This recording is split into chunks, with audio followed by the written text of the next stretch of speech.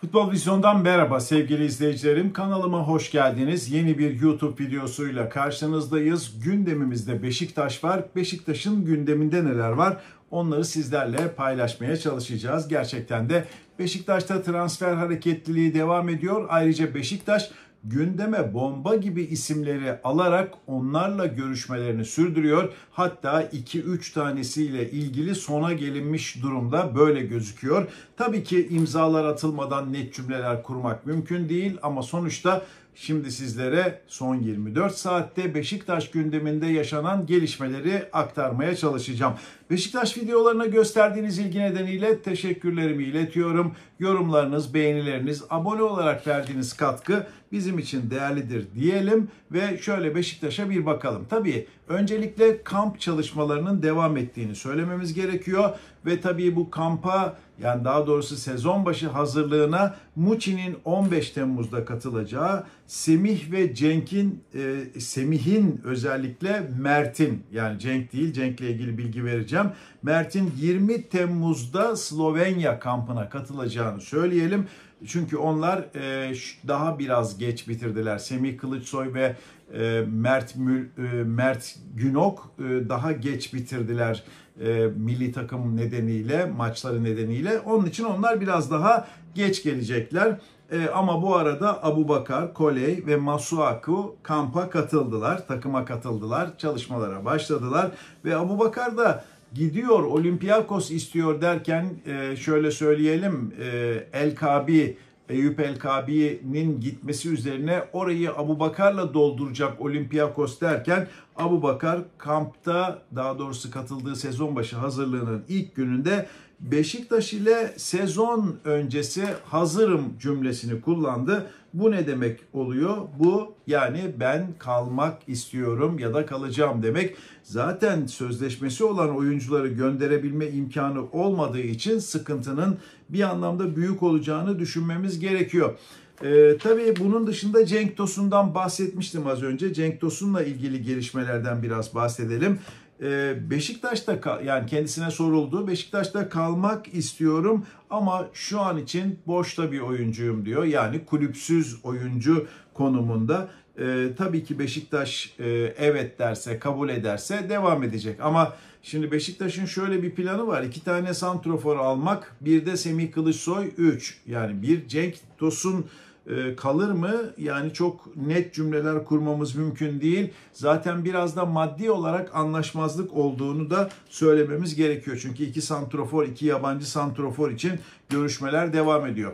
Geçmişte konuştuğumuz e, transferlerle ilgili bilgi aktarmak istemiyorum. Yani onlarla ilgili görüşmeler devam ediyor. Tekrardan e, Steven Berghuis gibi, işte tekrardan Angel Di Maria gibi isimleri e, gündeme getirmek istemiyorum. Ama e, işte diğer oyuncular, beklenen oyuncular var. Hermoso var, işte Hummels var ama şimdi e, tabii ki Beşiktaş bunlara takılı kalarak, bunları bekleyerek sezona hazırlanmaz. Onun için de yeni isimlerin isimlerin gündeme geldiğini hatta bir bomba ismin biraz sonra söyleyeceğim Avrupa'da bir hayli ses getirdiğini de söylemem gerekiyor. Onu da özellikle vurgulayalım ve e, devam edelim. Şimdi e, Cenk Tosun konusundan Dimitri Barinov'a geçelim. Dimitri Barinov, e, Lokomotiv Moskova'nın oyuncusu bir ön libero. Şöyle bir açıklama yaptı. Beşiktaş'la 3 milyon euro karşılığında anlaşmıştık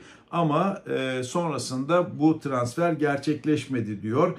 E, tabii yani bu tür konular e, olabilir, devre arasında olabilir, sonrasında olabilir ama transfer gerçekleşmediğine göre üzerinde çok detay konuşmamak gerekiyor.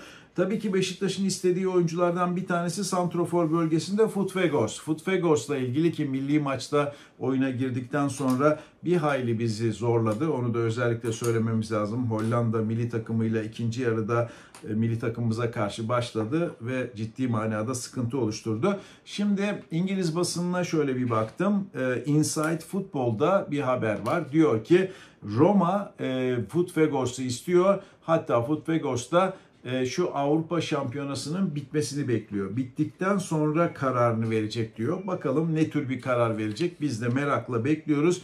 Beşiktaş'ın yalnız onu istediğini net bir şekilde söyleyebiliriz. Şimdi bunun dışında ee, sürpriz bir gelişme var. Onu söylemem gerekiyor. Biliyorsunuz dünkü videomuzda ya da bir gün önce bilemiyorum tam e, hangi günkü videoydu. E, Okay Yokuşlu için menajerinden bir açıklama geldiğini ve menajerinin e, Beşiktaş'la devrede olduğunu size söylemiştik. İşte tam bu noktada Trabzonspor da devreye girdi. Yani bir anlamda bir milli oyuncu, iki ezeli rakip karşı karşıya geldi. Öyle söyleyebiliriz. Ee, yani Okay Yokuşlu'nun tabii geçmişine baktığımızda farklı takımlar var ama Beşiktaş'ın talip olmasından sonra e, yerli rotasyonunu arttırabilmek adına da Trabzonspor'un da talip olduğu gerçeğini vurgulamam gerekiyor. Bu da bir başka önemli nokta. Şimdi şöyle devam edelim. E, Felix Udoaki Udoakhai Udoakhai yani gerçekten geldiği zaman bayağı bizi zorlayacak konu, şey konusunda, ismini söyleme konusunda. Augsburg'un oyuncusu bir stoper. Dedik ya stoper konusunda işte Hermosov var, e, devreye giriyor, Hummels devreye giriyor. E, biraz Stefan Savic geride kaldı. E, bu arada İngiltere'den Harry Maguire gündeme geldi, Varan gündeme geldi ama 1.93 boyunda bir sol stoper ki Beşiktaş'ın asıl istediği yer Gabriel Paulista'nın yanına bir sol stoper istiyor. İşte o noktada e, bir e, oyuncu e, Felix Udoakai e, Udoakai ile ilgili bir de iddia var. İddia diyorum kendim gözümle görmedim çünkü basına yansıdığı için söylüyorum. İstanbul'a getirildi tesisler gezdirildi ve tekrar geri döndü. Bir yıllık sözleşmesi var çünkü. 33 ee, maçta 2922 dakika oynayıp 2 gol attı. Ee, Felix öyle söyleyelim. Muhtemelen Türkiye'ye geldiğinde Beşiktaş'ta transfer olduğunda hepimiz Felix deriz herhalde ona. Daha kolay çünkü söylemesi. Bir Alman stoperden bahsediyoruz ve Beşiktaş'ın bu noktada işe ne kadar ciddi eğildiği de çok net bir şekilde belli oluyor. Tabi iddialar doğruysa İstanbul'a geldiyse muhtemelen bu e, transferle ilgili gelişmeler olumlu seyrediyor. Yani e, Okay Yokuşlu eğer ezeli rekabette e, Beşiktaş geride kalmazsa e, onunla ilgili bir gelişme olacak. Felix'le ilgili bir gelişme olacak. Ee, ben tekrar tekrar söylemek istemiyorum. Ben Oğuz Aydın konusu da tam tamına bir ortada. Yani ne o taraf ne bu taraf gibi görünüyor. Onu da özellikle söylemem gerekiyor. Ee, Oğuz Aydın'a Beşiktaş teklifini yaptı. Kenarda bekliyor. Şimdi Galatasaray o teklifi yükseltirse söyleyecek bir şey yok. Yükseltmezse büyük bir ihtimalle e, Beşiktaş'ın e, transferi olarak Oğuz Aydın yerli transferi olarak ortaya çıkacak. Armand Loriente ile ilgili görüşmelerin devam ettiğini söyleyelim. Corriere della Sport'ta bu konuda haber veriyor. Sol kanat oyuncusu Sassuolo'da e, mesele 10 milyon euroluk güncel piyasa değerindeki bütçesi. Çünkü 2027'ye kadar sözleşmesi var oyuncunun. Dolayısıyla burada sıkıntı olduğunu söyleyebiliriz. Şimdi gelelim günün bombası bir anda patladı.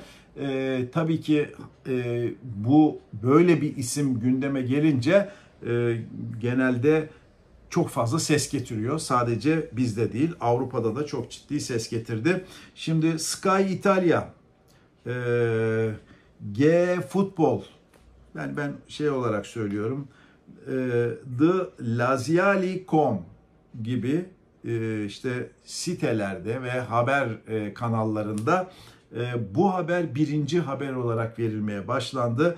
Ciro Immobile e, Beşiktaş'a Beşiktaş'la anlaştı. Beşiktaş'a gidiyor haberi verdiler. Santrofor e, tabii ki e, Lazio ile 2 yıllık sözleşmesi var. Belki de sorunun önemli bölümü bu. Ancak bu haberi veren siteler kulüple ve oyuncuyla anlaşmanın tamamlandığı şeklinde veriyorlar. Biz genel olarak size hani anlaşma yapıldı, sözleşme bitti falan dememiz için imza atılması gerekiyor. Ama çok ciddi manada bir e, transfer görüşmesi iki taraflı da evet olur, oluru alındığını söyleyelim. Güncel piyasa değeri 4 milyon euro. E, şimdi genelde üzerinde tartışma var. Yani işte e, biraz eski günlerinde değil falan diye. Çünkü 34 yaşında bir oyuncudan bahsediyoruz. Ama şunu da söylememiz lazım. Geçen sezonu da kötü geçirmemiş e, Ciro Immobile ki zaten kariyeri ile ilgili e, söyleyecek fazla bir şey yok. Onu özellikle söyleyelim. Juventus'ları, Torino'ları, Dortmund'ları, Sevilla'ları yani gerçekten çok özel bir oyuncu. Ve geçen sezonu da baktığımda bir daha çek edeyim. 43 maçta 11 golü var geçen sezon. E, bu da yani İtalya Ligi için gerçekten e, iyi bir rakam öyle söylememiz lazım benim gördüğüm kadarıyla. Şimdi tekrar çek ediyorum. Evet 43 maçta 11 golü 1 asisti var. 2359 dakikada görev almış. Yani e, oynamış Lazio'da şey gibi değil. Yani oynamadan geliyor e, diye iddialar var. Öyle bir iddia gerçek değil. Beşiktaş'ın gündemini sizlerle paylaşmaya çalıştım. Beni izleyip dinlediğiniz için hepinize teşekkür ediyorum. Yeniden görüşünceye kadar hoşçakalın.